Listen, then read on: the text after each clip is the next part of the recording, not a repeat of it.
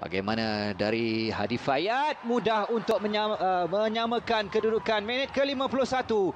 Malaysia kembali untuk mengikat kedudukan di Stadium Tian Trong dengan jaringan penalti dan juga Kemboja.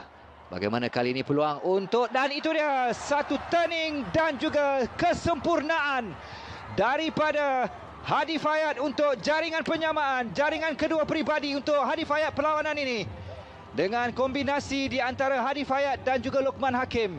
Ini adalah jaringan yang berjaya dihasilkan oleh Hadi Fayat. Beliau membelakangkan pintu gol tolakan daripada Lokman Hakim yang mengelirukan. Perhatikan di sini satu gerakan. Mini Ismail.